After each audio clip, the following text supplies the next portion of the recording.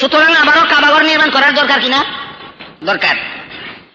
বন্যার পানি শুকাবার পরে নুহু পয়গম্বরের তিন ছেলে হাম সাম ইয়াফিস তিন ছেলের আওলাদেরা নতুন ভাবে দুনিয়াকে আবাদ করল। তিন ছেলের আওলাদেরা দুনিয়াকে নতুন ভাবে আবাদ নুহ হাসিমের তিন ছেলের আওলাদেরা নতুন ভাবে দুনিয়াকে আবাদ করল। সেই নয়া দুনিয়ার মধ্যে তারা পরিকল্পিত ভাবে একটা শহর নির্মাণ করল। শহরটার নাম কোরআনের ভাষায় বলা হয়েছে বাবেল শহর সেই নতুন দুনিয়া নুহ হাসিমের আওলাদের আমলে দুনিয়াটা কেমন দুনিয়া? নয়া দুনিয়া। বন্যার আগের কোনো মানুষ নাই। মাত্র নুহ পায়গম্বরের তিন ছেলের আওলাদেরা আছে আর আগের আমলের আর কোনো মানুষ নাই। বন্যার পূর্ববর্তী কোনো ঘর দরজা দুনিয়াতে নাই। তিন ছেলের আওলাদেরা যে সমস্ত ঘর দরজা নির্মাণ করল, শুধুমাত্র সেই ঘরগুলি রইল।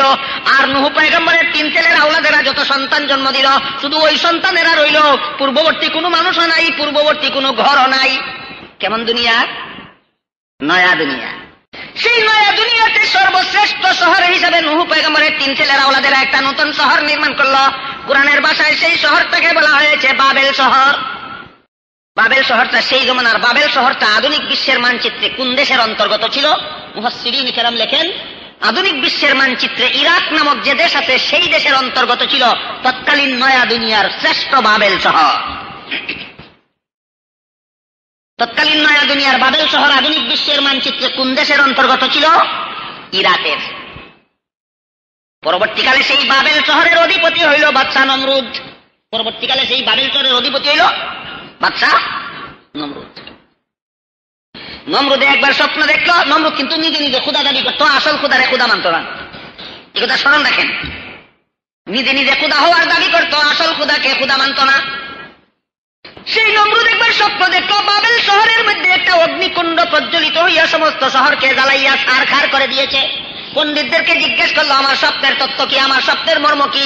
পণ্ডিতেরা বলল, তোমার শহরের বাসিন্দাদের ঘরে এমন একটা সন্তান জন্মগ্রহণ করবে, যেই সন্তানের কারণে তোমার বাচ্চাহিও ধ্বংস হবে, তোমার ক্ষুদাইও ধ্বংস হবে।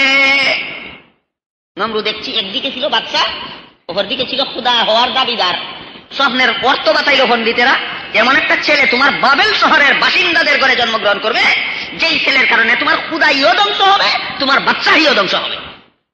নমরুদ বলল, এমন সন্তান আমার বাবেল শহরের কোনো বাসিন্দাকে জন্ম দিতে দেব না। এমন সন্তান আমার বাবেল শহরের কোনো বাসিন্দাকে জন্ম দিতে দেব না। আইন জারি করে দিলাম। আমার বাবেল শহরের কোন মানুষ আজ থেকে কোন সন্তান জন্ম দিতে পারবে না।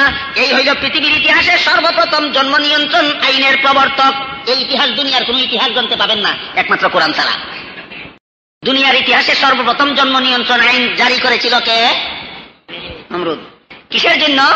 ওই ওই সন্তান যেন জন্ম না হয়, যে সন্তানের কারণে তার খুদাই যাবে, ওই সন্তান যেন জন্ম না হয়, যে সন্তানের কারণে তার বাচ্চাই যাবে। আইনকে বাস্তবায়ন করার জন্য একটা লোকের ডাইরেক্টর বানাইল লোকটার নাম আজব ঠাকুর। একটা লোকের কি বানাইল? নমরুদের জন্ম নিয়ন্ত্রণ আইনকে বাস্তবায়ন করার জন্য একটা লোকের ডাইরেক্টর বানাইল, ডাইরেক্টরের নাম আজব ঠাকুর। ঠাকুর কেন? আজর একটা দেবতার নাম ছিল, সেই দেবতা সে নিজের হাতে নির্মাণ করত। নমরুদের দরবারে হাজিরা দেবতা নির্মাণ করে, উপহার দিয়ে নমরুদের কাছ থেকে বিরাট অঙ্কের উপডৌকন গ্রহণ করত। এই কারণে লোকটারে আগর এই এই কারণে লোকটারে ঠাকুর বলা হয়।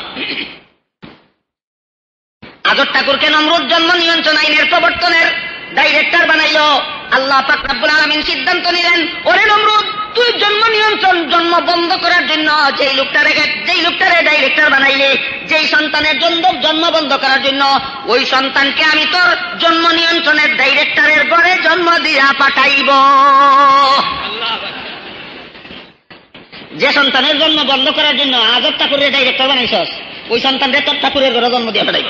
এই হিসাবে আল্লাহ পাকরাবুল আলমিন নমরুদের সেই অবাঞ্ছিত সন্তান হজরত ইব্রাহিম আলাই ইসলামকে নমরুদের নমরুদের জন্ম নিয়ন্ত্রণ আইনের ডাইরেক্টর আদর ঠাকুরের ঘরে জন্ম দিয়া পাঠাইলেন সন্তানটার নাম হজরত ইব্রাহিম আলহ ইসলাম আল্লাহ পাকরাবুল আলমিন কোরআনের অন্য আয়াতে বলেছেন إذ قال إبراهيم لأبيه آزر تتخذ أصناما آلهة স্মরণ করো সেই দিনের ইতিহাস এই ইতিহাসগুলি দুনিয়ার কত হাজার ইতিহাস গ্রন্থ একত্র করলে পাবেন? কোরআন ছাড়া? পাবেন?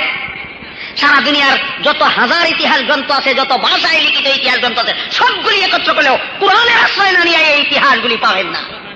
আল্লাহ ফাকরাবুল আলমিন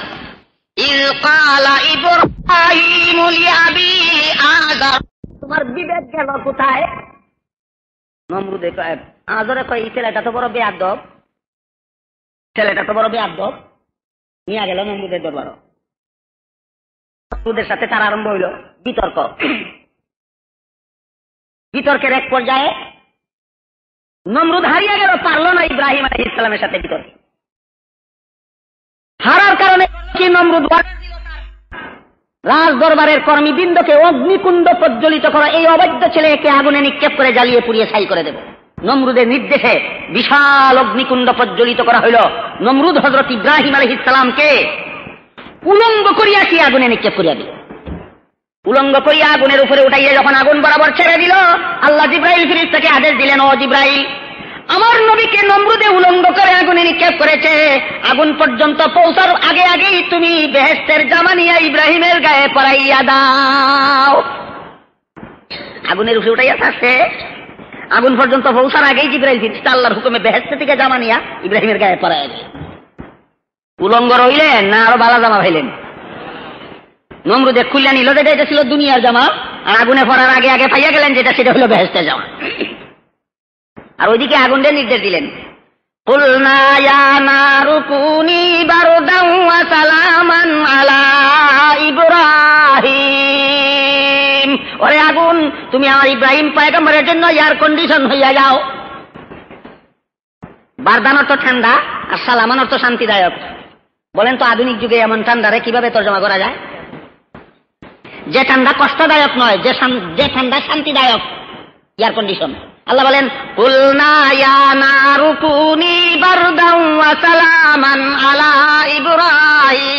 আগুনকে নির্দেশ দিলাম, হে আগুন, নমরুদের প্রজ্বলিত আগুন, তুমি ইব্রাহিমের জন্য এয়ার কন্ডিশন হইয়া যাও। নমরুদ যখন দেখল ইব্রাহিমকে আগুনে জ্বালায় না, আগুনকে নমরুদ বলে, ওরে আগুন, তুই সারা জীবন জারি পাইলে তারে জ্বালাইলি। আমি আমার দুশ্মন দিলাম, জ্বালাইবার জন্য তুই জ্বালাসটা কেন? আল্লাহর কুদরতে আগুনের জবান খুলে গেল, আগুন বলে গুফতে আতিস মান হামানাম আতিসম গুফতে আতিস মান আতিসম তাবিসম ওরে নমরুদ আমার দাহন ক্ষমতা নষ্ট হয়নি। আমি আল্লাহর হুকুমে শুধুমাত্র ইব্রাহিমের জন্য এয়ার কন্ডিশন হয়েছি, আর কারোর জন্য নয়। আমি ইব্রাহিমকে জ্বালাই না দেখে যদি তোর আমার দাহন ক্ষমতা সম্পর্কে সন্দিহান, তুই যদি সন্দিহান হয়ে থাকিস, তোর যদি সন্দেহ জেগে থাকে, তুই আসিয়া দেখ আমি জ্বালাইতে পারি কিনা। আইয়া দেখ। কেমন আন্দাজ হয় আপনার নমরুদ যে পরাজিত হইল, কেমন সম্মানজনক ভাবে পরাজিত? ইব্রাহিমের সাথে সংঘর্ষে নমরুদ পরাজিত হইল না বিজয়ী হইল? কেমন সম্মানজনক পরাজিত না অপমানজনক পরাজিত? যে আগুন রে জ্বালাইতে দিল, জ্বালাইল না। আগুন রে কয়, তোর কি জ্বালাইবার ক্ষমতা নষ্ট হয়ে গেছে গা? আগুনে কয়, না, আইয়া দেখ নষ্ট হয়েছে কিনা। তুই আইয়া দেখ। শেষ পর্যন্ত আল্লাহ পাকরাবুল আলমিন হজরত ইব্রাহিম আলাইসলামকে আদেশ দিলেন, ও ইব্রাহিম নমরুদের দেশ থেকে হিজরত করে তুমি তোমার দ্বিতীয় ছেলে সামের আউলাদেরা যে দেশ আবাদ করেছিল, সেই দেশে চলে যাও। নয়া দুনিয়া, নু পয়গম্বরের কয় ছেলে আবাদ করেছিল? তিন ছেলে, হাম, সাম ইয়াফিস সামের আউলাদেরা যে দেশ আবাদ করেছিল, ওই দেশকে প্রাচীনকালে সাম দেশ বলা হতো সাম দেশ। দেশের নাম সাম দেশ কেন? সামের আউলাদে আবাদ করছে। কিন্তু আধুনিক বিশ্বের মানচিত্রে আপনারা সামদেশ নামে কোনো দেশের নাম পাবেন না। আধুনিক বিশ্বের মানচিত্রে সিরিয়া নামক যে দেশটা আছে, ওইটাই ছিল প্রাচীনকালের সামদেশ আধুনিক বিশ্বের মানচিত্রে সিরিয়া নামক যে দেশটা আছে, এটাই ছিল প্রাচীনকালের সামদেশ আর নম- নমরুদের রাজধানী বাবেল শহর ছিল আধুনিক বিশ্বের কোন দেশে? ইরাকে। ইরাক থেকে হিজরত করে হজরত ইব্রাহিম পয়গম্বর সিরিয়ায় চলে গেলেন। সিরিয়ার কেনান নামক বস্তিতে জনপদে গিয়া বসবাস স্থাপন করলেন। ওইখানে যাওয়ার পরে হজরত ইব্রাহিম আলহ ইসলামের ঔরসে আল্লাহ পাক রব্বুল আলমিন তার প্রথম ছেলে ইসমাইল আলহ ইসলাম দান করলেন। ইব্রাহিমের প্রথম ছেলেকে ইসমাইল ইসলাম। নমরুদের দেশে থাকতে জন্ম হইল, না হিজরত করিয়া সিরিয়ায় যাওয়ার পরে জন্ম হইল? সিরিয়ায় যাওয়ার পরে জন্ম হইল। এখন ইতিহাসের যে যে অংশে আমরা আছি এমত অবস্থায় কাবাগরের অবস্থা কি? নিশ্চিন্ন। কাবাগরের অবস্থা কি? কাবাগরের বিটার উপর জঙ্গল। এই অবস্থার ইতিহাস চলছে এখন। আল্লাহ পাক রাব্বুল আলামিন ইব্রাহিমকে বলেন, ও ইব্রাহিম তোমার শিশু ছেলে ইসমাইলকে সেই জঙ্গলে নির্বাসন দিয়ে আসো, যেই জঙ্গলের নিচে আমার পবিত্র কাবাগরের ফাউন্ডেশন চাপা করেছে। তোমার স্ত্রীকে সহ? তোমার স্ত্রী হাজেরা সহ? তোমার একমাত্র ছেলে, শিশু ছেলে ইসমাইলকে সেই জঙ্গলে নির্বাসন দিয়ে আসো, যেই জঙ্গলের টিলার নিচে আমার কাবাগরের বিটা চাপা পড়ে আছে। কাবাগরের কাবাগরের বিটা যে দেশে আছে, এই দেশটা বর্তমানে কোন দেশ? সৌদি আরব। আর ইব্রাহিম বর্তমানে বাসিন্দা কোন দেশের সিরিয়ার?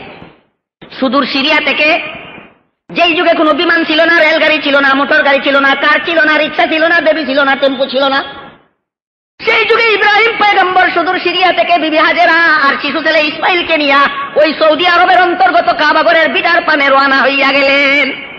যাইতে যাইতে যাইতে যাইতে যাইতে যাইতে যে টিলার নিচে কাবাগরের বিটা চাপা পড়েছে, সেইখানে গিয়া শিশু ছেলে ইসমাইলকে বিবি হাজেরার কুলে দিয়া কোনো কথা না বলিয়া ইব্রাহিম পয়গম্বর বাড়ির পথে রওনা হইয়া গেলেন। বিবি জিজ্ঞেস করেন, স্বামী আমার, এই অসহায় জঙ্গলে, যেই জঙ্গলে কোনো জনমানব নাই, কোনো মানুষের চিহ্ন নাই, যেই জঙ্গলে কোনো পশু পাখি নাই, যেই জঙ্গলে কোনো ফলমূল নাই, যেই জঙ্গলে কোনো পানি নাই, এমন মরণ জঙ্গলে আপনি আমাকে রেখে যাচ্ছেন, আপনার নিজের ইচ্ছায় না আল্লাহর ইচ্ছায়? ইব্রাহিম পায়গাম্বর বলেন, ওরে বিবি প্রিয় আমার, প্রিয় বিবি আমার আমার ইচ্ছায় আমি কিছুই করি না, আল্লাহ পাকরাব্বুল আলমিনের নির্দেশ ক্রমে তোমাকে এখানে রেখে যাচ্ছি। বিবি হাজারা বলেন, তাই যদি হয়, আমার কুলের শিশু নিয়ে আমি এই জঙ্গলে কেমন করে বাঁচবো? আমার শিশু কেমন করে বাঁচবে? আমি মানুষের সমাজ পাবো কোথায়? আমি খাদ্য পাবো কোথায়? আমি পানি পাবো কোথায়? সেই প্রশ্ন আমি আপনার কাছে করতে চাই না। যে আল্লাহর নির্দেশে আপনি আমাকে জঙ্গলে নির্বাসন দিলেন, সেই আল্লাহই আমার সবকিছুর ব্যবস্থা করবেন। ইব্রাহিম ইসলাম চলে গেলেন সিরিয়ায়, আর বিবি হাজারা হাজারাকে রেখে গেলেন মক্কায়। তখন মক্কা না, তখন জঙ্গল। তখন কি মক্কা না জঙ্গল? কেমন জঙ্গল? যেই জঙ্গলে একটা মানুষ বাস করবে, দূরের কথা এক বিন্দু পানি না থাকার কারণে একটা পশু পাখিও এই জঙ্গলে বাস করে না, এই জঙ্গলে নির্বাচন দেওয়া গেলে। যাওয়ার সময় পাহাড়ের চূড়ায় আরোহণ করে আল্লাহ কাছে দোয়া করে। রব্বি তারা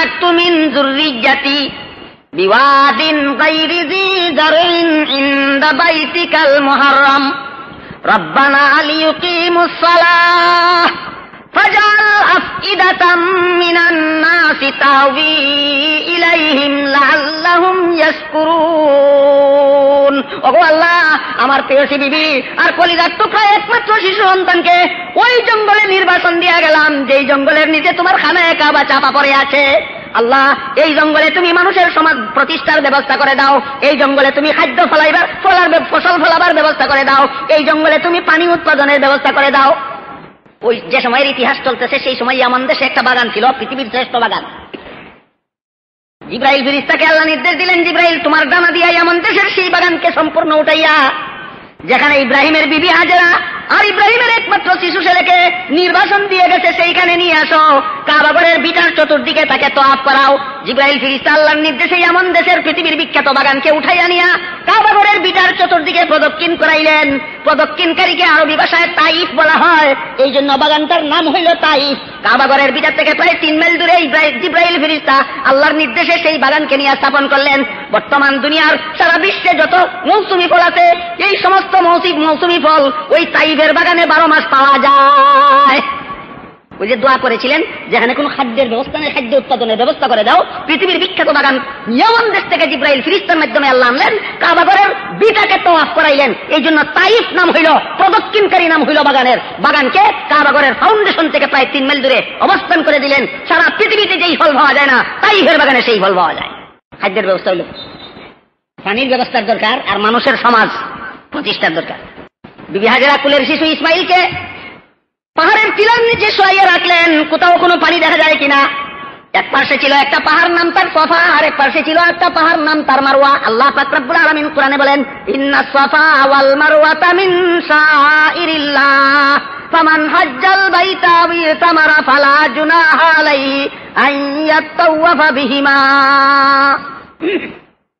দুইটা পাহাড়ের দুই নাম, একটার নাম সফা একটার নাম মারোয়া এই পাশে একটা পাহাড় ওই পাশে একটা পাহাড় দুই পাহাড়ের মধ্যবর্তী স্থানটা নিচু। ক্ষুধার্ত অবস্থায়, পিপাসু অবস্থায় শিশু কুলে নিয়ে পাহাড়ে আরোহণ করা সম্ভব নয়। এই জন্য কুলের শিশু কলিদার টুকরাকে মাটিতে শোয়াইয়া একবার এই পাহাড়ে উঠেন। দূর কোনো পানি পাওয়া যায় কিনা, দেখা যায় কিনা অনুসন্ধান করার জন্য। আবার সন্তানের মায়ায় দৌড়াইয়া নিচে নামিয়ে আসেন। কোন জন্তু সন্তানকে আক্রমণ করে কিনা দেখার জন্য। আবার ওই পাহাড়ে আরোহণ করেন, ওইদিকে কোনো পানি দেখা যায় কিনা অনুসন্ধান করার জন্য। এইভাবে সাতবার সাতবার প্রদক্ষিণ করার পরে পাহাড়ের চূড়ায় আরোহিত অবস্থায় শুনতে পাইলেন, নিচে কোনো আওয়াজ শোনা যায়। সন্দেহ হইল আমার কলিদার টুকরা সন্তানকে কোনো জন্তু হামলা করল কিনা? তারা হুড়া করে নেমে আসলেন। দেখলেন সন্তানের পায়ের গুড়ালির নিচ থেকে পাহাড়ি জমিনে, পাথরি জমিনের নিচ থেকে বক বক করে পানি উঠতেছে। বিবি হাজেরা তখন পাথর দিয়ে পানির চতুর্দিক বান দিলেন। মুহাম্মাদুর রসুল্লাহ বলমান সেই দিন যদি বিবি হাজেরা ওই পানিকে বান না দিতেন, এই পানির দ্বারা সারা দুনিয়া প্লাবিত হইয়া যাইত।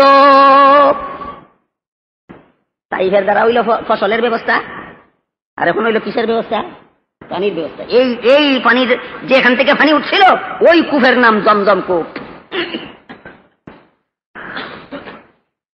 এই ইতিহাসটা মোহাম্মদুর রসুল্লাহামের আবির্ভাবের প্রায় পাঁচ হাজার বছর আগের ইতিহাস। জমজম কূপ সৃষ্টি হয়েছে মোহাম্মদ ইসলামের আবির্ভাবের প্রায় পাঁচ হাজার বছর আগে, আর বর্তমানে আরও দেড় হাজার বছর অতিক্রান্ত হয়ে গেছে। পাঁচ হাজার আর দেড় হাজার? সাড়ে ছয় হাজার। আসেনি দুনিয়াতে সাড়ে ছয় হাজার বছরের পুরাতন একটা কুয়া। যে কুয়ার পানি সুপেয় বিশুদ্ধ, সারা দুনিয়ার মানুষ পান করতে পারে। আছে কি দুনিয়াতে এমন একটা কুয়া? সাড়ে ছয় হাজার বছরের পুরাতন। এই জন্য বলেছিলাম, কোরআন দুনিয়ার মানুষের সামনে এত সব তথ্যবহুল এবং পুরাতন প্রাচীন ইতিহাস পেশ করে, যা দুনিয়ার সমস্ত ইতিহাস গ্রন্থ সম্মিলিত ভাবে পেশ করতে ব্যর্থ। সেই কোরআনের শিক্ষা সম্পর্কে কিছু আলোচনা আপনাদের সামনে পেশ করার জন্য আলোচনা শুরু করেছিলাম। কিন্তু কথায় কথায় ইতিহাসে ইতিহাসে কথা অনেক লম্বা হয়ে গেল। গোটায় নিব নাকি একটু মোটামুটি বলে ফেলব, এখন আপনাদের মর্জি। কথা শেষ করে দিতাম। নাকি মোটামুটি হইয়া লইতাম। কয়টা জিনিসের ব্যবস্থা হইল? ফসল উৎপাদনের ব্যবস্থা হইল আর পানির ব্যবস্থা হইল। আর রইল মানুষের সমাজ প্রতিষ্ঠা। যেমন দেশ থেকে একদল ব্যবসায়ী কাফেলা সেই পাহাড়ের ভিতর দিয়া সিরিয়ায় যাত্রা করতেছিল ব্যবসায়ের জন্য। দেখল এখানে একটা মেয়ে লোক কুলে শিশু নিয়ে বসা আছে। জিজ্ঞাসা করল, কি ব্যাপার? যেই জঙ্গলে কোনো মানুষ নাই, যেই জঙ্গলে কোনো পশু নাই, যেই জঙ্গলে কোনো পানি নাই, যেই জঙ্গলে কোনো ফসল নাই, সেখানে তুমি কেমন করে আসলে? তিনি সব ইতিহাস বললেন, বলার পরে তারা তাদের দেশের বাচ্চাদের কাছে গিয়া বলল এমন দেশের বাচ্চা সরকারি উদ্যোগ নিয়ে জঙ্গল আবাদ করাইয়া এই জঙ্গলকে শহরে পরিণত করাইয়া দিল। ওইখানে মানুষের ব্যবস্থা, মানুষের সমাজ, মানব সমাজ প্রতিষ্ঠা হইল, ফসল উৎপাদনের ব্যবস্থা হইল, পানি উত্তোলনের ব্যবস্থা হইল। তখন আসল কাজটা শুধু বাকি। আসল কাজটা কোনটা? কাবাগর নির্মাণ। এই কারণে তো শিশু, শিশুপুত্র বিবি হাজারাকে আল্লাহ ইব্রাহিম পাইগাম নির্দেশ দিয়া নির্বাচন দেওয়া হজরত ইসমাইল আলহ ইসলাম যখন তরুণ বয়সের, তখন আল্লাহ ফাকরাবুল আলমিন ইব্রাহিম আলসলামকে নির্দেশ দিলেন, ও ইব্রাহিম, আমি আল্লাহর ভালোবাসা লাভের জন্য তোমার একমাত্র ছেলে ইসমাইলকে কুরবানি করে ফেল। ইসমাইলকে কুরবানি করে ফেল। হজরত ইব্রাহিম আল ইসলাম ছেলে ইসমাইলকে জিজ্ঞাসা করলেন। قال يا بني إني أرى في المنام أني أذبحك فانظر ماذا ترى قال يا أبت فعل ما تؤمر ستجدني إن شاء الله من الصابرين হে প্রিয় ছেলে ইসমাইল আল্লাহ স্বপ্ন যুগে আমাকে নির্দেশ করেছেন আল্লাহর ভালোবাসা লাভের জন্য তোমাকে জবাই করে কুরবানি করে দিতাম প্রিয় ছেলে বলো, এই ব্যাপারে তুমি কি মতামত ব্যক্ত করো? ছেলে ইসমাইল বলেন, আব্বা, আমি যদি আপনার হাতে জবাই হয়ে গেলে আল্লাহ খুশি হয়ে যান। আমি হাসি মুখে আল্লাহর পথে জবাই হতে রাজি আছি। আল্লাহ বলেন, ফালাম্মা আসলামা ওয়াতাল্লাহু লিল জাবিন। ইব্রাহিম قد صدقت الرؤيا إنا كذلك نجزي المحسنين وفديناه بذبح عظيم যখন পিতা পুত্র দুজন যখন পিতা পুত্র দুজন যখন পিতা পুত্র দুজন মুসলিম হইয়া গেলেন তারা দুজন পয়গাম্বর কিনা পয়গাম্বর কিনা দুজন আল্লাহর নবী কিনা তাহলে এই এই মাত্র মুসলিম হইলেন না আগের থেকে মুসলিম ছিলেন পয়গাম্বর কি অমুসলিম নবী কি মুসলিম? আগের থেকে তো মুসলিম।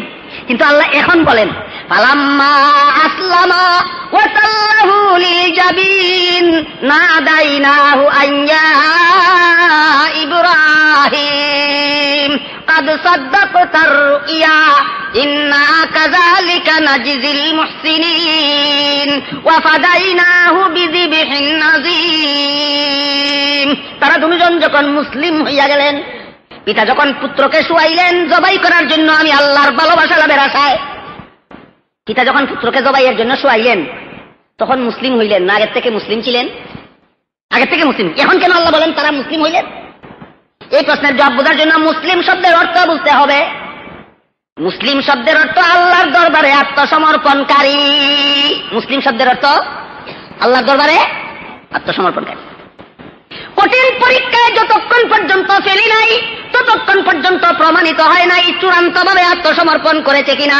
যখন পিতাকে নির্দেশ দিলাম পুত্রকে জবাই করতে হবে, যখন পুত্রকে নির্দেশ দিলাম পিতার হাতে জবাই হতে হবে, পুত্র যখন পিতা যখন জবাই করার জন্য হাসি মুখে প্রস্তুত হয়ে গেলেন, পুত্র যখন জবাই হওয়ার জন্য হাসি মুখে তৈয়ার হয়ে গেল। পরিপূর্ণ আত্মসমর্পণকারী এখন প্রমাণ হইল কিনা? তাহলে মুসলিমের তো মুসলিমের তো আত্মসমর্পণ মুসলমানি বুয়াদ গর্দন নেহাদন মুসলমানি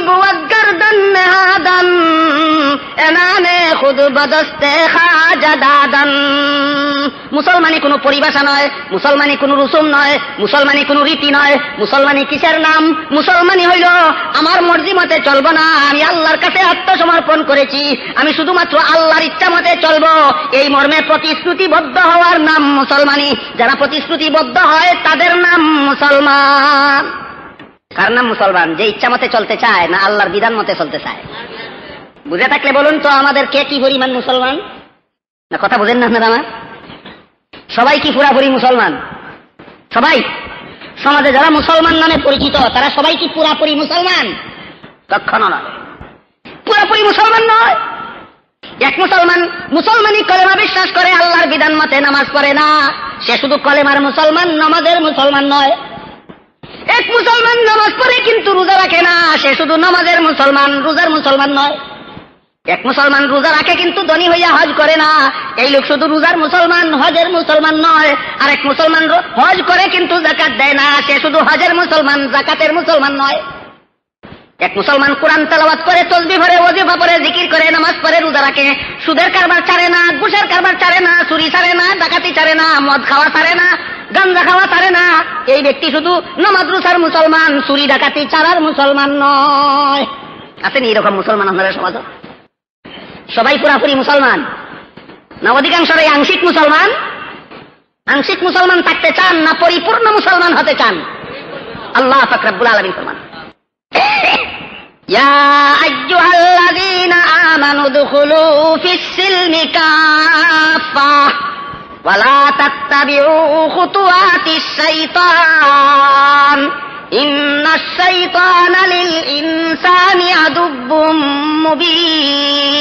হে হে পরিপূর্ণ মুসলমান হইয়া যাও মুসলমান হইয়া শয়তানের পদাঙ্ক অনুসরণ করিও না মুসলমান হইয়া নমাজ ছাড়িয়া দিও না মুসলমান হইয়া রোজা ছাড়িয়া দিও না মুসলমান হইয়া চুর হইয়া যাইও না মুসলমান হইয়া ডাকাত হইও না মুসলমান হইয়া হাইজেকার হইও না মুসলমান হইয়া সন্ত্রাসী হইও না মুসলমান হইয়া সুৎকুর হইও না মুসলমান হইয়া গুসকুর হইও না মুসলমান হইয়া গান্দাকুর হইও না মুসলমান হইয়া মদকুর হইও না মুসলমানের জন্য কিছু বিধি নিষেধ আছে কিনা?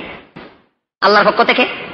বিধি নিষেধ পুরাপুরি পালন করলে পুরাপুরি মুসলমান পালন না করলে মুসলমান?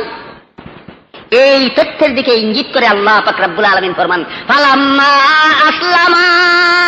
পিতা ইব্রাহিম, পুত্র ইসমাইল, যখন মুসলিম হইয়া গেলেন, যখন মুসলিম হইয়া গেলেন মানে কি, কঠিন পরীক্ষায় যতক্ষণ পর্যন্ত ভেলি নাই, ততক্ষণ পর্যন্ত পরিপূর্ণ আত্মসমর্পণ করেছেন কিনা প্রমাণ হয় নাই। যখন কঠিন পরীক্ষায় ফেলেছি, যখন আদেশ দিয়েছি, পিতা ইব্রাহিম, তোমার হাতে তোমার কলিজার টুকরা পুত্রকে জবাই করতে হবে। আমি আল্লাহর, আল্লাহকে সন্তুষ্ট করার জন্য পুত্র পুত্র ইসমাইল, তোমার পিতার হাতে জবাই হতে হবে। আমি আল্লাহকে সন্তুষ্ট করার জন্য, পিতা আল্লাহকে সন্তুষ্ট করার জন্য, পুত্রকে জবাই করতে রাজি হয়ে গেলেন। পুত্র আল্লাহকে সন্তুষ্ট করার জন্য, পিতার হাতে জবাই হতে রাজি হয়ে গেলেন। কঠিন পরীক্ষায় ফেল করলেন না পাশ করলেন। আগেই ভাস করেছিলেন না ঘটনা ঘটনা ক্ষেত্রে ভাস করলেন?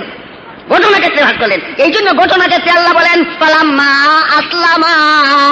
তারা যখন মুসলিম হলেন, তারা যখন পরিপূর্ণ আত্মসমর্পণকারী হলেন, তখন আমি ইব্রাহিমকে দেখে বললাম, না দাই দেখে বললাম, ওগো ইব্রাহিম পয়গম্বর ইয়া স্বপ্নে আমি তোমাকে যা আদেশ করেছিলাম, তোমার পক্ষ থেকে পালন হয়ে গিয়েছে। এখন তোমার ছেলের গলা কাটাইয়া আমি আল্লাহর কোনো লাভ নাই। আমি তোমার ছেলের গলা কাটাই, কাটানো আমার আসল উদ্দেশ্য নয়। তোমার ছেলের রক্ত দিয়ে আমার কোনো কাজ নাই। তোমার ছেলের গুস্ত দিয়ে আমার কোনো কাজ নাই। আমি তোমার ছেলের রক্ত এবং গুস্ত চাইনি। আমি তোমার তোমার অন্তর চেয়েছিলাম, তোমার ছেলের অন্তর চেয়েছিলাম। যা আমি চেয়েছিলাম তা পেয়ে গেছি। কাজেই শুধুমাত্র আনুষ্ঠানিকতা রক্ষা করো। বেহেস্তে থেকে দুম্বা পাঠাইলাম। ছেলের বিনিময়ে দুম্বা জবাইয়ের মাধ্যমে অনুষ্ঠান পালন করো। কোরআন ছাড়া ভাবেন কি দুনিয়ার আরও কোনো ইতিহাসে এই সমস্ত ঘটনা? فلما أسلم وتله للجبين ناديناه أن يا إبراهيم قد صدقت الرؤيا إنا كذلك نجزي المحسنين وفديناه بذبح عظيم বেহেস্ত থেকে যে দুম্বা পাঠালাম ছেলের পরিবর্তে দুম্বা জবাই করে আনুষ্ঠানিকতা রক্ষা করো সহজ পরীক্ষা ছিল না কঠিন পরীক্ষা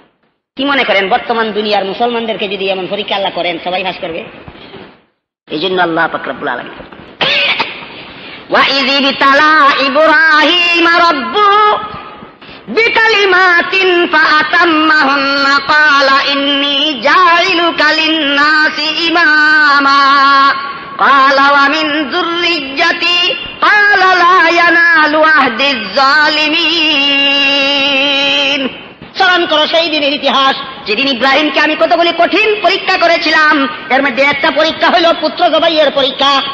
ফেল করলেন না পাস করলেন? পুত্র জবাইয়ের পরীক্ষা ইব্রাহিম ফেল করলেন না পাস করলেন? পাস করলেন। আল্লাহ বলেন, ইব্রাহিম, তুমি আমার সবগুলি পরীক্ষায় পাস করেছ, এবার তোমাকে আমি মানব জাতির জন্য, এবার তোমাকে আমি মানব জাতির জন্য ইমাম বানাবো। নির্দেশ দিলেন ইব্রাহিম, তোমার ছেলে ইসমাইলকে নিয়ে কাবাগর তৃতীয় দফার মতো পুনর্নির্মাণ করো। এখন কত দফা কাবাগর নির্মাণ হইতে যাইতেছে? প্রথম দফা কে নির্মাণ করেছিলেন? তিরিশ তারা। দ্বিতীয় দফা কে নির্মাণ করেছিলেন? আদম ইসলাম। তৃতীয় দফা কে নির্মাণ করতে যাইতেছেন? ইব্রাহিম পয়গম্বর এবং তার ছেলে ইসমাইল ইসলাম। এই ঘটনা বর্ণনা করি। আল্লাহ, আমি যে আয়াতগুলি তিলাবাত করেছিলাম, সেই আয়াতগুলিতে বলি। وإذ يرفع إبراهيم القواعد من البيت وإسماعيل ربنا تقبل منا إنك أنت السميع العليم স্মরণ করো সেই দিনের ইতিহাস যেদিন ইব্রাহিম পয়গম্বর তার ছেলে ইসমাইলকে নিয়ে তৃতীয় দফার মতো খানায় কাবা নির্মাণ করতেছিলেন দেখেন আয়াতের সাথে ইতিহাসের ধারাবাহিকতা মিলে কিনা স্মরণ করো সেই দিনের ইতিহাস যেদিন ইব্রাহিম পয়গম্বর তার ছেলে ইসমাইলকে নিয়ে কাবাগরকে পুনর তৃতীয়বারের মতো পুনর্নির্মাণ করতেছিলেন, ইব্রাহিম পয়গম্বর কাবাগরের দেওয়ালে পাথরগুলি দা গাতুরি দিতেছিলেন, ইসমাইল পয়গম্বর পাথরগুলি আগাইয়া আগাইয়া বাবার হাতে উঠিয়ে দিতেছিলেন। গাতুনি দিতে দিতে দিতে দিতে দেওয়াল যখন মাথার উপরে গেল, তখন কি মাটিতে দাঁড়াইয়া দেওয়া- গাঁথুনি দেওয়া যাবে? গাঁথুনি দিতে দিতে দেওয়াল যখন মাথার উপরে গেল, তখনও কি মাটিতে দাঁড়াইয়া আরও গাঁথুনি দেওয়া যাবে? যাবে না। একটা উঁচু পাথরের উপর দাঁড়াইয়া গাঁথুনি দিতে লাগলেন। যতই দেওয়াল উঁচু হইতে লাগল, পাথর ততই উঁচু হইয়া গাঁথুনি দেওয়ার সুযোগ করে দিতে লাগল। শেষ প্রান্ত পর্যন্ত নির্মাণ কাজ সমাধা করার পর পাথর যত উঁচু হইল, আমাদের কোন হাদিলুক এখানে? একজনও নাই? কাবাগরের কাবাগরের দেওয়াল কতটুকু উঁচু? আপনাদের এই মঞ্চটার সমান অনেক বেশি উঁচু, অনেক বেশি উঁচু। এত উঁচু দেওয়াল থেকে এত ওইখানে উঁচু পাথরে দাঁড়াইয়া গাছুনি সমাপ্ত হওয়ার পর এখন পাথর থেকে নামবেন কেমন করে? আল্লাহর কুদরতে আবার পাথর নিচু হইয়া ইব্রাহিম পয়গম্বরকে নামার সুযোগ করে দিল। যে পাথরে দাঁড়াইয়া ইব্রাহিম পয়গম্বর কাবাগরের দেওয়াল গাঁথনি দিতেছিলেন খুব ভেবেচিন্তে একটা কথা বলবেন। একটা পাথরের মধ্যে দাঁড়াইয়া কিছুক্ষণ কাজ করলে পাথরের মধ্যে কি ফায়ার নকশা অঙ্কিত হয়ে যায়? যায় পাথরে কি ফায়ার দাগ পড়ে? তাও কি গেতে যায় পাথরে? গাতে না দাগ পড়ার কথা নয়, স্বাভাবিক নিয়মে। কিন্তু যেহেতু আল্লাহর কুদরতি ব্যবস্থা ছিল, যেহেতু আল্লাহর কুদরতি ব্যবস্থা ছিল, পাথর উঁচু হইয়া গাতুরি দেওয়ার সুযোগ করে দিল, নিচু হইয়া নামার সুযোগ করে দিল, কুদরতি ব্যবস্থা সাগা- স্বাভাবিক না অস্বাভাবিক লৌকিক না অলৌকিক? অলৌকিক। অলৌকিকতার প্রমাণ মকামে কাবাগরের সামনে মকামে ইব্রাহিম নামক স্থানে পিঞ্জরের ভিতরে সৌদি সরকার আজও পর্যন্ত সেই পাথরকে সংরক্ষণ করে রেখেছে। যে পাথরে দাঁড়াইয়া ইব্রাহিম পয়গম্বর কাবাগর নির্মাণ করেছিলেন, সেই পাথরের মধ্যে আজও পর্যন্ত ইব্রাহিম পয়গম্বরের পায়ের দাগ অঙ্কিত আছে। পাথরটা এখনও আছে। এটা কি ইতিহাসের জ্বলন্ত প্রমাণ নয়? মকামে ইব্রাহিমের সংরক্ষিত ইব্রাহিম পয়গম্বরের পায়ের দাগ খচিত পাথরটা কোরআনের ইতিহাসের জ্বলন্ত সাক্ষ্য নয় কি? এর চেয়ে বিশুদ্ধ ইতিহাস দুনিয়ার আর কোন গ্রন্থে পাবে? সমাপ্ত করার পরে আল্লাহ পাক আলামিন বলেন, ইব্রাহিম কাবাগর নির্মাণ করাইয়াছিলাম শুধুমাত্র আশপাশের মানুষের জন্য নয়, সারা দুনিয়ার মানুষ যেন কাবাগর তোয়াপ করে, জীবনের গুণা মাফ করায়। কাজে দুনিয়াবাসী মানুষকে ডাকো, ও দুনিয়ার মানুষ, আল্লাহ আমাকে আমার দ্বারা তৃতীয়বারের মতো কাবাগর নির্মাণ করাইয়াছেন। তোমরা আসো কাবাগর তোয়াপ করো, জীবনের গুণা মাফ করাও। ইব্রাহিম পয়গম্বর বলেন, আল্লাহ, আমার কণ্ঠস্বর সারা দুনিয়ার মানুষকে কেমন করে শোনাবো? কোন দিনের ইতিহাস? যেদিন ওয়্যারলেস ছিল টেলিফোন ছিল, কোন রকমের যানবাহন ছিল মাইক্রোফোন ছিল, প্রচার যন্ত্র বলতে কোনো জিনিস ছিল না। এক দেশের সংবাদ আর এক দেশে পৌঁছাবার মতো কোনো ব্যবস্থা, পায়ে হেঁটে যাওয়া ছাড়া কোনো ব্যবস্থা ছিল না। সেই যুগে আল্লাহ বলেন, ও ইব্রাহিম, সারা দুনিয়ার মানুষকে বলে দাও কাবাগর নির্মাণ করা হয়েছে, হজের জন্য আসো। ইব্রাহিম পয়গম্বর বলেন, ওগো আল্লাহ, সারা দুনিয়ার মানুষকে আমার কণ্ঠস্বর কেমন করে শোনাবো? আল্লাহ বলেন, ইব্রাহিম, আহ্বান করা তোমার কাজ, শুনিয়ে দেওয়া আমি আল্লাহর কাজ। এখন কি সম্ভব মনে করেন আপনারা? এখন সম্ভব? সম্ভব না? আল্লাহ বলেন, ডাক দেওয়া তোমার কাজ আর শোনাইয়া দেওয়া আমি আল্লাহর কাজ। ইব্রাহিম বলেন, আমি কেমন করে শোনাবো? আল্লাহ বলেন, শোনানেওয়ালা তুমি না, তুমি শুধু ডাক দেনেওয়ালা, শোনানেওয়ালা আমি আল্লাহ। আল্লাহ কি পারবেন না শোনাইতে? ইব্রাহিম পায়গম্বর আল্লাহর নির্দেশ ক্রমে পাহাড়ের চূড়া আরোহণ করলেন। ও দুনিয়াবাসী মানুষ বলে ডাক দিলেন, আল্লাহ আমার দ্বারা তৃতীয় দফার মতো কাবাগর নির্মাণ করিয়েছেন। আসো তোমরা তদ দিয়ারত করো, জীবনের গুণা মাপের ব্যবস্থা গ্রহণ করো।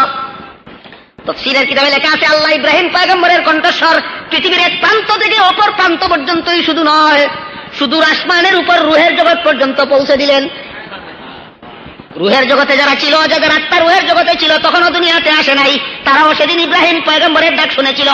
তাদের মধ্যে যারা বলেছিল লাভবাইক আল্লাহ লাভবাইক তারা ভবিষ্যতে কিয়ামত পর্যন্ত যখন ওই দুনিয়াতে আসবে, আল্লাহ তাদেরকে আল্লাহর ঘরের সামনে নিয়ে লাভবাইক আল্লাহ লাভবাইক বলাইবেন, তারপরে মরণ গঠাইবেন হাজিলকে যখন কাবাগরে তোয়াপ করে, যে দোয়া পড়তে হয় দোয়াটার প্রথম শব্দই লাভবাইক জানেন কি আপনারা কেউ লাভবাইক শব্দের অর্থ? হাজির অপরাধ থেকে ক্ষমা প্রার্থনা করার জন্য। আপনাদের দুনিয়ার সমাজে যে কোনো মানুষ আসামি হয়, তার বিরুদ্ধে যদি আদালতে মোকদ্দমা হয়, আসামির নামে যদি আদালতে ওয়ারেন্ট হইয়া যায়, আর ওয়ারেন্টের আসামি যদি আদালতে হাজিরা দিয়া বলে, মহামান্য বিচারপতি, হাজিরা দিলাম, যে অপরাধ করে এসেছি, সেই অপরাধ আরও করব। যদি এমন ভাবে বলে, মহামান্য বিচারপতি, হাজিরা দিলাম আদালতে হাজিরা দিলাম যে অপরাধ করে আসামি হয়েছি, সেই অপরাধ আরও করব। যদি এমন ভাবে বলে, তাহলে বিচারপতি, মহামান্য বিচারপতি বলবে, তুমি বেকসুর খালাস, না ডাবল শাস্তি। বুঝে থাকলে বলুন, সারা জীবন পর ইবলিসের প্ররোচনায় জাহান নামের পথে চলেছে, আল্লাহর দরবারে অপরাধ করেছে।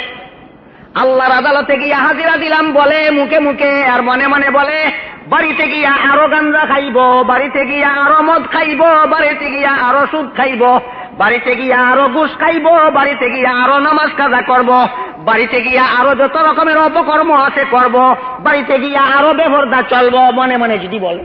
তার মনের কথা কি আল্লাহ জানবেন? তার মনের কথা কি আল্লাহ জানবেন?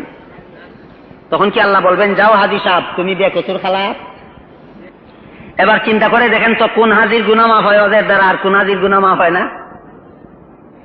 যারা লাভবাহিকের মর্ম বুঝে লাভবাহিক বলে, আল্লাহর রসুল বলেন, তারা এমন ভাবে বেগুনা হইয়া বাড়িতে ফিরে আসে যেমন ভাবে সদ্য প্রসূত সন্তান বেগুনা হইয়া দুনিয়াতে জন্মগ্রহণ করে। হাজি লোক এমন ভাবে বেগুনা হইয়া বাড়িতে ফিরে আসে, একটা নূতন সন্তান জন্মগ্রহণের সময় যেমন বেগুনা হইয়া জন্মগ্রহণ করে রসুল করিম সাল্লাম ফরমান, যথারীতি নিয়ম মোতাবেক যদি আল্লাহর ঘরের তোয়াফ করে আসতে পারে, সদ্য প্রসূত সন্তানের মতো বেগুনা হইয়া বাড়িতে ফিরতে পারে। নিয়মের উল্টা না নিয়ম মতো? নিয়মের খেলাফ না নিয়ম মোতাবেক?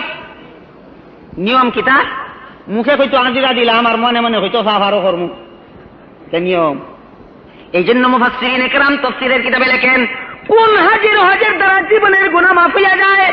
আর কোন হাজির হজের দ্বারা একটা গুণাও মাফ হয় না। তার প্রমাণ হইল, যেই লোক হজে যাওয়ার আগে মদ খাইতো, হজ থেকে আসার পরে আর মদ খায় না। হজে যাওয়ার আগে গাঞ্জা খাইতো, হজ থেকে আসার পরে আর গাঞ্জা খায় না। হজে যাওয়ার আগে সুদ খাইতো, হজ থেকে আসার পরে আর সুদ খায় না। হজে যাওয়ার আগে ঘুষ খাইতো, হজ থেকে আসার পরে আর ঘুষ খায় না। হজে যাওয়ার আগে নামাজ কাজা করতো, হজ থেকে আসার পরে আর নামাজ কাজা করে না। হজে যাওয়ার আগে চুরি করতো, হজ থেকে আসার পরে আর চুরি করে না। হজে যাওয়ার আগে ডাকাতি করতো হজ থেকে আসার পরে আর ডাকাতি করে না।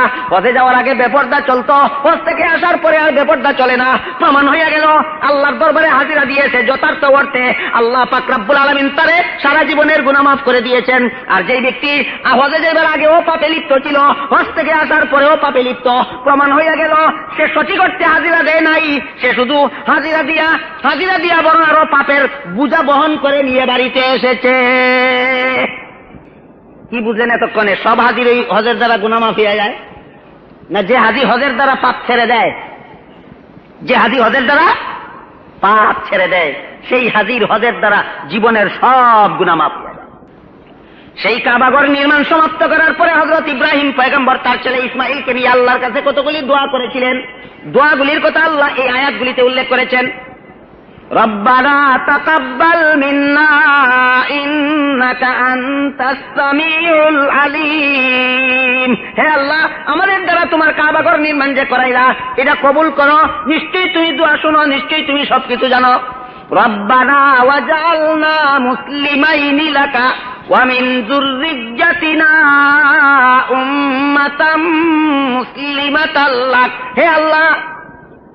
আমি ইব্রাহিম আর আমার ছেলে ইসমাইলকে চিরকালের জন্য তোমার দরবারের আত্মসমর্পণকারী হিসাবে কবুল করো।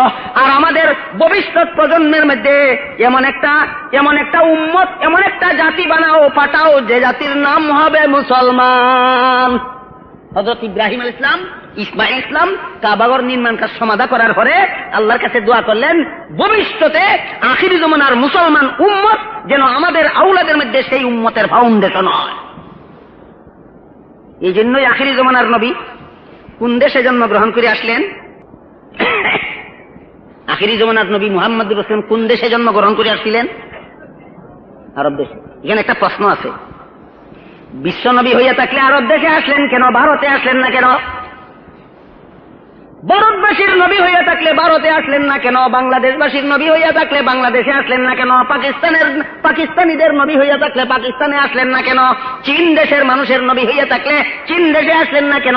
আমেরিকার মানুষের নবী হইয়া থাকলে আমেরিকায় আসলেন না কেন? প্রশ্ন জাগে কিনা? এই প্রশ্নের বহু জবাব আছে, এর মধ্যে একটা জবাব। ইব্রাহিম ইসলাম দোয়া করেছিলেন। আখিরি জমানার মুসলমান উম্মতের ভিত্তি যেন আমাদের আওলাদের মধ্যে স্থাপিত হয়, আর সেই উম্মতের হেদায়তের জন্য যে নবী যাবে, নবী জন্মগ্রহণ করবেন, সেই নবী যেন আমাদের বংশধরের মধ্যে জন্মগ্রহণ করেন। আখিরি জমানার নবী মোহাম্মদুর রসুল্লাহ যে এই যুগে জন্মগ্রহণ করেছিলেন, সেই যুগে কুরাইশ বংশের যারা ছিল, তারাই ছিল ইব্রাহিম পায়গম্বরের আউলাদ ইসমাইল পয়গম্বরের আউলাদ ইব্রাহিম পয়গম্বরের আউলাদের মধ্যে, ইসমাইল পয়গম্বরের আউলাদের মধ্যে বিশ্ব নবী জন্মগ্রহণ করার দোয়া করেছিলেন তারা দুজন। আর তাদের আউলাদ কোন দেশের বাসিন্দা ছিল? আরবের। এই জন্য আল্লাহ ফাকরাবুল আলমিন বিশ্ব নবীকে আরব দেশে কুরাইশ বংশে জন্ম দিয়া পাঠাইলেন। কুরাইশ বংশের লোকেরাই ছিল ইব্রাহিম এবং ইসমাইল পয়গম্বরের আউলাদ এক জব। আর এক জব হইল, একটা গ্রামের মধ্যে ধরেন মহামারী দেখা দিল। কোন লোকের মাত্র শুরু হয়েছে কোন লোক কিছু গায়েল হইয়া গেছে, কোন লোক মরণাপন্ন অবস্থায় আছে। বড় ডাক্তারকে খবর দিবেন কিনা আপনারা? বড় ডাক্তার। বড় ডাক্তার আসলে পরে সামান্য সামান্য রোগ যার মধ্যে দেখা দিছে, তার কাছে আগে যাবে। না কিছু গায়েল যে হয়েছে তার কাছে আগে যাবে। না যে ব্যক্তি মরণাপন্ন হইয়া গেছে, তার কাছে আগে যাবে। বড় ডাক্তার কার কাছে আগে যাবে? ঘায়েল রোগীর কাছে আগে যাবে। মুহাম্মদুর রসুল্লাহ যে যুগে দুনিয়াতে শুভাগমন করেছিলেন, সেই যুগে সারা দুনিয়াবাসীর মধ্যে সবচেয়ে বেশি বর্বর ছিল আরবের সেই কুরাইশ বংশের লোকেরা। আরবের কুরাইশ বংশের লোকেরা ছিল সবচেয়ে বড় অসভ্য সবচেয়ে বড় বর্বর। এই জন্য সবচেয়ে বড় রুহানি চিকিৎসক মুহাম্মদুর রসুল্লাহ আসলামকে সাধারণ রোগীর কাছে পাঠাইলেন না। রোগে মাত্র আক্রান্ত হয়েছে তার কাছে পাঠাইলেন না। মরণাপন্ন হইয়া গেছে যেই কুরাইশ বংশের বর্বরেরা তাদের চিকিৎসার জন্য সর্বপ্রথম তাদের কাছে পাঠাইলেন। কি পরিমাণ বর্বর ছিল তারা? আল্লাহর ঘরের ভিতরে তিনশো ষাটটা দেবতা স্থাপন করেছে। তিনশো ষাটটা দেবতা স্থাপন করিয়া নারী পুরুষ একসাথে উলঙ্গ হইয়া আল্লাহর ঘরের আল্লাহর ঘরের তোয়াপ করত। কেমনে উলঙ্গ কেমনে তোয়াপ করত? উলঙ্গ হইয়া যুক্তি দিত। যে কাপড় পরিধান করে পাপ করেছি, পাপের পাপের পোশাক গায়ে জড়াইয়া পবিত্র ঘরের তোয়াপ করব না। যুক্তি। পাপের পোশাক গায়ে লাগাইয়া পবিত্র ঘর তোয়াপ করব না। নারীরা উলঙ্গ হইয়া কাবাগর তোয়াব করত, পুরুষেরা উলঙ্গ হইয়া কাবাগর তোয়াব করত।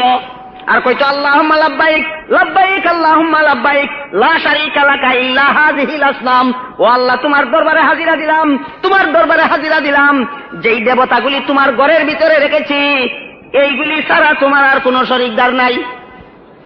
এটা ছিল তাদের ধর্মীয় বর্বরতা। এইগুলি ছাড়া আর কোনো শরিকদার নাই। মানে তিনশো ষাট শরিক আল্লাহ আছে। এরকম তো। আর এদের হজের বর্বরতা ছিল, আল্লাহর ঘরে তোয়াপ করত, নারী পুরুষ উলঙ্গ হইয়া। আর অন্যান্য বর্বরতা কি ছিল? কোন কোন দম্পতিতে যদি মেয়ে জন্ম গ্রহণ করত, মেয়েকে জ্যান্ত অবস্থায় বাবা মাটির নিচে পুঁতে ফেলত। এরকম বর্বরতা মানুষের ইতিহাসে আর নাই। এবং ওই সমাজে নারী পুরুষের বিয়া কীভাবে হইত একটা মেয়ে লোক বিয়ার আগে যত পুরুষের সাথে ইচ্ছা, তত পুরুষের সাথে মিলামিশা করত। এরপরে সে যখন গর্ভবতী হইত, সন্তান যখন জন্ম হইয়া যাইত, সন্তানের নাম রাখার দিন যত পুরুষের সাথে সঙ্গম করেছিল নাম রাখার দিন সবগুলি পুরুষকে দাওয়াত দিত। দাওয়াত দিয়া খাওয়াইয়া পুরুষ পালকে লাইন করিয়া দাঁড় করাইয়া সন্তান কুলে নিয়ে মেয়ে লোকটা বাহির হইয়া ওই লাইনের যে পুরুষের হাত ধরিয়া মেয়ে লোকটা বলতো, তুমি আমার কুলের সন্তানের বাবা। ওই মেয়ে, ওই ওই পুরুষটার সাথে এই মেয়েটার তখন মাত্র বিয়া হইত। কীভাবে বিয়া হইতো তারা? একটা মেয়ে লোকে বিয়ার আগে যত পুরুষের সাথে ইচ্ছা, এত পুরুষের সাথে সহবাস করত। এতে যখন মেয়ে লোকটা গর্ভবতী হইত, তখনও বিয়া হইছে না। যখন সন্তান জন্ম হইছে, তখনও বিয়া হইছে না। যখন সন্তানের নাম রাখার দিন হইছে, তখনও বিয়া হইছে না। নাম রাখার দিন যতগুলি পুরুষের সাথে সঙ্গম করেছে, জানে, সবগুলিরে দাওয়াত ফিরে আনতো মেয়েটার বাড়িতে। আইনা তারা নিমন্ত্রণ খাওয়াইয়া, লাইন ফিরাই পুরুষ পাল্টে দাঁড় করাইয়া, সন্তান কুলে নিয়ে মেয়ে লোকটা এই লাইনের কাছে যাইতো এখনও বিয়া হইছে না। লাইনের কাছে গিয়া যে পুরুষের হাতে ধরিয়া কইতো, তুমি আমার কুলের সন্তানের বাবা? ওই পুরুষটার সাথে, ওই ই সন্তানের বাবা বলার সাথে সাথে তার বিয়া হইছে। বিয়া আগে হইছে না সন্তান আগে হইছে? এখন আন্দাজ করেন কেমন অসভ্য বর্বর ছিল তার। আন্দাজ হইছে কিছু? এই রকমের অসভ্য বর্বর পৃথিবীর ইতিহাসে আর কেউ ছিল না। যেহেতু কুরাইশ বংশের লোকেরা সবচেয়ে বড় অসভ্য বর্বর ছিল, সবচেয়ে বড় ঘায়েল রুগী ছিল। এই জন্য আল্লাহ সবচেয়ে বড় রুহানি ডাক্তারকে সবচেয়ে বড় ঘায়েল রুগীর কাছে চিকিৎসার জন্য পাঠাইয়া দিলেন। ক্রমান্বয়ে সারা দুনিয়াবাসী মানুষের রুহানি চিকিৎসা মোহাম্মদুর রসুল্লাহর মাধ্যমে হইল, এই জন্য বিশ্ব নবী মোহাম্মদুর রসুল্লাহকে আল্লাহ ফাকরাবুল আলমিন প্রাথমিক পর্যায়ে আরব দেশে পাঠাইলেন। তারা দুজন দোয়া করেছিলেন, আল্লাহ। আমাদের আওলাদের মধ্যে থেকে যেন মুসলমান উম্মতের ভিত্তি স্থাপিত হয়, আমাদের আওলাদের মধ্যে যেন মুসলমান উম্মতের নবী জন্মগ্রহণ করেন, যে নবী চারটা দায়িত্ব পালনের মাধ্যমে মুসলমান উম্মতের হেদায়তের কাজ করবে আর একটা আনুষঙ্গিক প্রশ্ন রয়েছে, যারা আল্লাহর ঘরের জিয়ারতে যাইতে পারে না, তাদের জীবনের গুণা কি করে মাফ হবে? বলা হয়েছে, আল্লাহর ঘরের জিয়ারত যদি যথারীতি করতে পারে, জীবনের গুণা মাফ হয়ে যাবে। যারা আল্লাহর ঘরে যাই যাওয়ার মতো সামর্থ্য নাই, তাদের গুণা কি করে মাফ হবে? হাদিস শরীফে হজরত রসুল করিম সাল্লাহ প্রমাণ কঠিন হাসরের দিনে সাত দল মানুষ আল্লাহর আরসের ছায়ার নিচে ছায়া পাবে। কয় দল? সাত দল। এই সাত দলের মধ্যে এক দল নিজেদের মহল্লার মসজিদের সাথে যাদের অন্তর বন্দি অন্তর বন্দি থাকবে, অর্থাৎ নিজেদের মহল্লার মসজিদে দৈনিক পাঁচ বেলা জমাতের সাথে যারা নামাজ পড়বে, আল্লাহ পাকরাবুল আলমিন তাদেরকে কঠিন হাসরের দিনে আল্লাহর আরও সে ছায়ার নিচে ছায়া দান করবেন। ধনীরা আল্লাহর ঘরের তোয়াফ করে গিয়া জীবনের গুনামাফ করাইবে, আর গরিবেরা দৈনিক পাঁচ বেলা মহল্লার মসজিদে গিয়া নামাজ পড়ে এই কঠিন হাসরের দিনে নাজাতের ব্যবস্থা পাইবে। গরিবদেরও ব্যবস্থা আছে কি নাই? বরং গরিবের ব্যবস্থা ধনির চেয়ে সহজ। ধনী লোকে পাঁচ বেলা নামাজ পড়লেই নাজাত পাবে না, হজ না করলে। গরিব লোকে হজ না করিয়া শুধু পাঁচ বেলা নামাজ পড়িয়া নাজাত পাইয়া যাইবে। কথা বুঝলেন কিনা দেখেন? মেহরবানি করে আর দুই চারটা মিনিট আপনারা ধৈর্য ধারণ করেন। দুই চার মিনিটের ভিতরে এলুমেলে করবেন না ইনশাল্লাহ আমি দুই চার মিনিটের মধ্যে কথা শেষ করে দেব। হজরত ইব্রাহিম আলহ ইসলাম এবং ইসমাইল আল্লাহর কাছে দোয়া করলেন, আল্লাহ চারটা দায়িত্ব পালনের মাধ্যমে আখিরি জমানার নবী মুসলমান উম্মতের হেদায়ত করবেন হেদায়ত করবেন নবী কয় দায়িত্ব পালনের মাধ্যমে চার দায়িত্ব এক নম্বর ইয়াতলু আলাইহিম আয়াতিকা ويعلمهم الكتاب والحكمة ويزكيهم إنك أنت العزيز الحكيم প্রথম নম্বর দায়িত্ব পবিত্র কোরআনের সহিত তেলাওয়াত শুনাইবেন। দ্বিতীয় নম্বর দায়িত্ব, কোরআন শিক্ষা দিবেন। তৃতীয় নম্বর দায়িত্ব, হাদিস শিক্ষা দিবেন। চতুর্থ নম্বর দায়িত্ব, মানুষের আত্মাকে পবিত্র করে দেবেন। কয়টা দায়িত্ব? আখিরি জমানার নবী মুসলমান উম্মতকে হেদায়ত করবেন। কয়টা দায়িত্ব পালনের মাধ্যমে? চারটা দায়িত্ব পালনের মাধ্যমে। এক নম্বর কোরআনের সহি তেলাওয়াত শুনাইবেন, দুই নম্বর কোরআন শিখাইবেন, তিন নম্বর হাদিস শিখাইবেন। জিজ্ঞাসা করি আপনাদেরকে। কোরআনের সহি তেলাওয়াত শিখানো হয় কোথায়? মাদ্রাসায় নয় কি? কোরআন শিক্ষা দেওয়া হয় কোথায়? মাদ্রাসায় নয় কি? হাদিস শিক্ষা দেওয়া হয় কোথায়? মাদ্রাসায় নয় কি?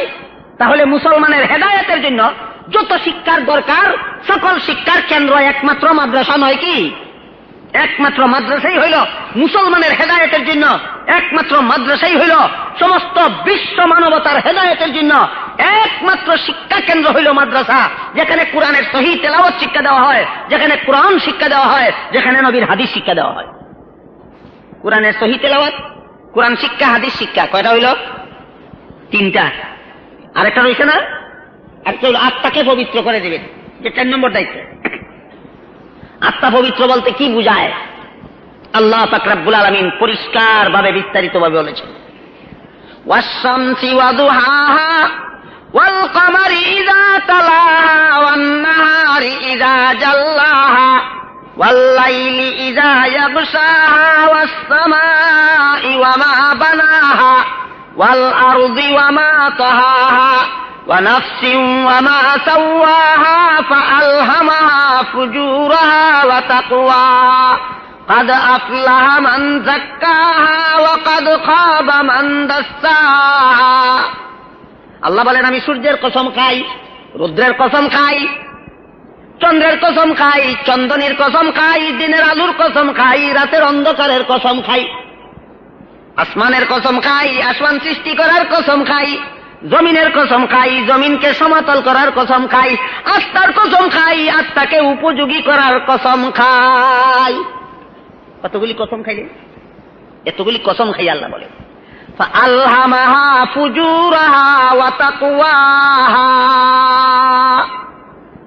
প্রত্যেকটা মানুষের আত্মার মধ্যে উল্টা পাল্টা দুইটা শক্তি দান করেছি।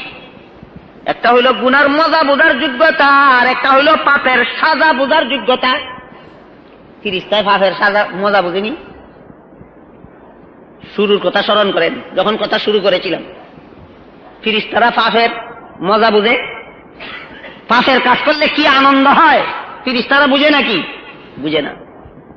প্রত্যেকটা পাপের দুইটা ফলাফল আছে। একটা হইল মজা আর একটা হইল সাজা।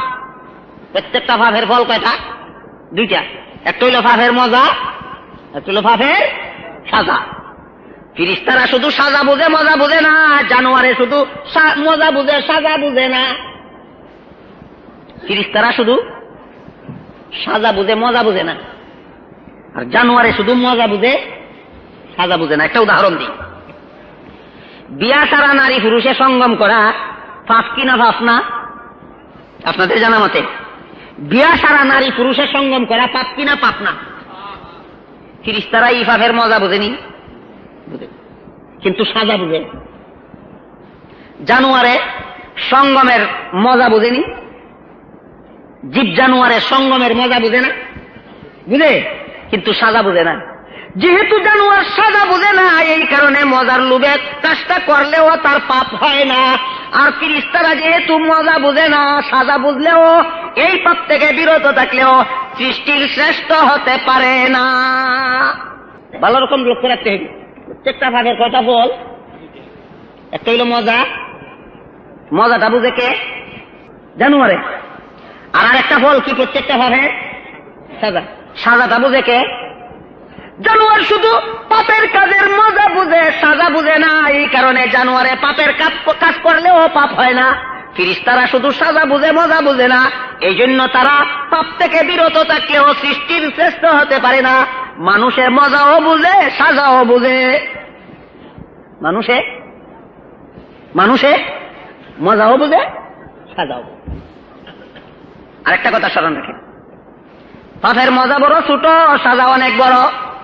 পাপের মজা অনেক, ছোট সাজা অনেক বড়। বিষয়টা পরিষ্কার বোঝার জন্য একটা উদাহরণ দিই। আমি গড়ি মিলাই দেখি সংক্ষিপ্ত কেরাতে নামাজ পড়লে সহি শুদ্ধ ভাবে এক রাকাত নামাজে এক মিনিট সময় লাগে। সহি শুদ্ধ ভাবে সংক্ষিপ্ত কেরাতে নামাজ পড়লে এক রাকাত নামাজ পড়তে এক মিনিট লাগে। ফজরের সময় ফরজ, সুন্নত মিলাইয়া সর্বমোট কয় রাকাত নামাজ? চার রাকাত। কয় মিনিটের কথা? কয় মিনিট সময় লাগার কথা? চার মিনিট। এই চার রাকাত নামাজ পড়ার জন্য যেই ব্যক্তি ঘুম থেকে জাগলো না। ঘুমের মজা। কয় মিনিটের? কয় মিনিটের? চার মিনিটের ঘুমের মজা। এর লুবে ঘুম থেকে জাগলো না, চার রাখাত নামাজ পড়ল না। এই জন্য চার মিনিটের জাহান নামে যাবে। চার মিনিটের জাহান নাম না দুই কোটি অষ্টআশি লক্ষ বছরের জাহান নাম তাহলে মজা কয় মিনিটের? সাজা কয় মিনিটের এবার বলুন পাপের মজা কত বড় আর সাজা কত বড়? প্রত্যেকটা পাপের দুইটা করে ফল আছে একটা মজা আর একটা সাজা। পাপের মজা বড় ছোট সাজা অনেক বড়। সুতরাং যেই ব্যক্তি সাজার ভয় করে না মজার লোভে পাপ করে তার বিবেক আছে। না নষ্ট হয়েছে তার বিবেক তাজা না ফসা? যেই ব্যক্তি দীর্ঘ সাজার ভয় করে না অল্প মজার লোভে পাপ করে এই ব্যক্তির বিবেক তাজা না ফসা?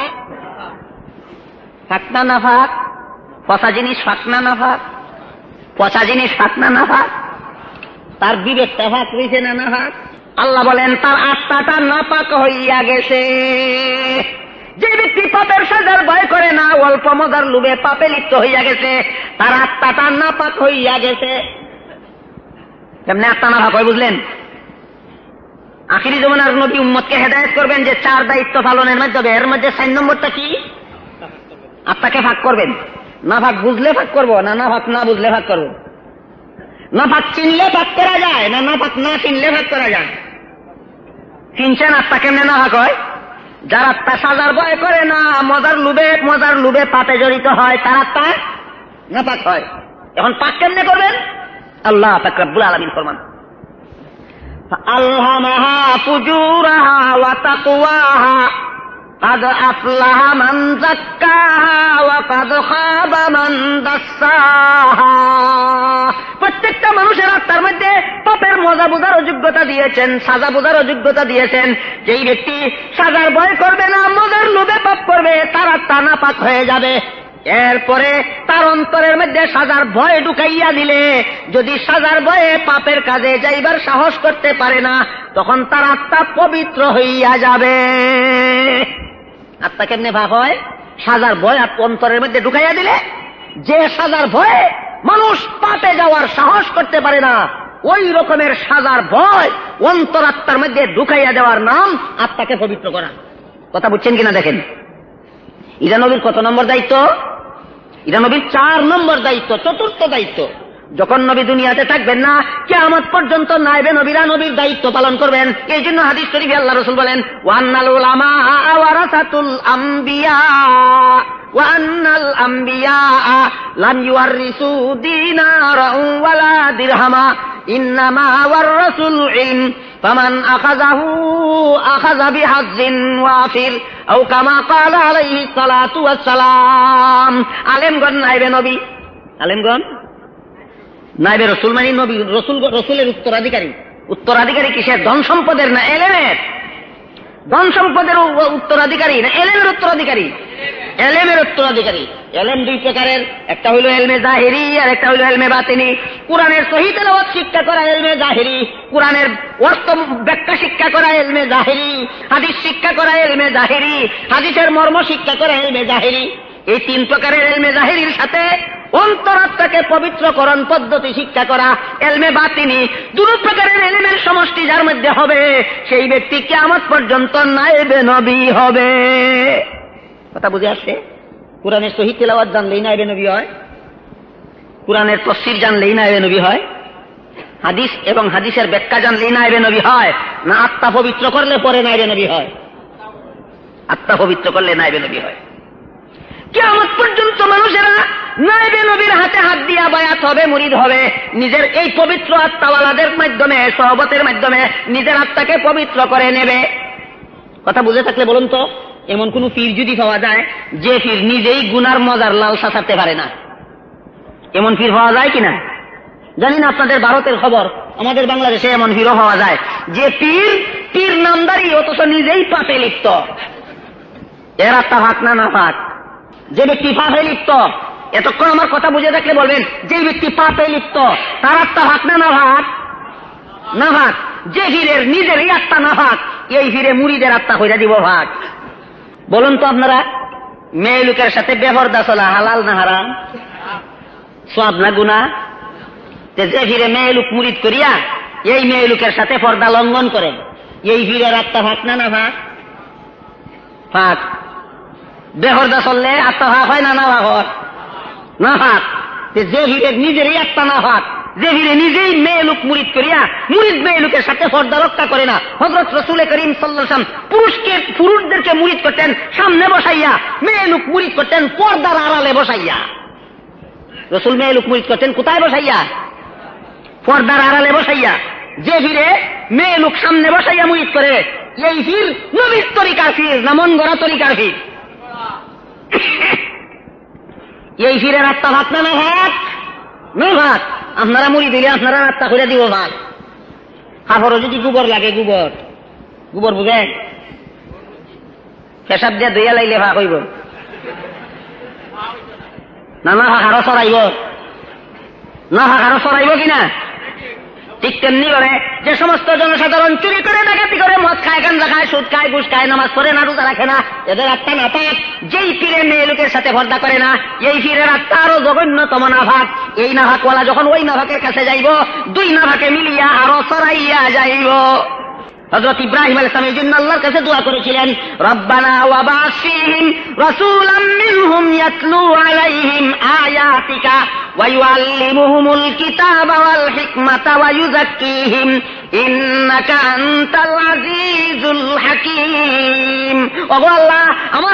মধ্যে, আমার ছেলে ইসমাইলের আওলাদের মধ্যে, আখিরি জমানার নবী পাঠাও, যেই নবী উম্মতকে নবী উম্মতকে কোরআন হাদিস শিখাইবেন, আর যেই নবী মেয়ে লোকের সাথে বেহরদা চলবেন। নবী মেয়ে লোকের সাথে বেহরদা চলবেন।